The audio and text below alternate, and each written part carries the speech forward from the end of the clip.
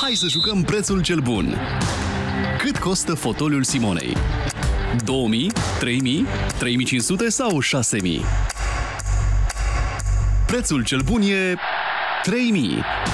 Tu ai ghicit? Ai câștigat! Asta a fost doar încălzirea.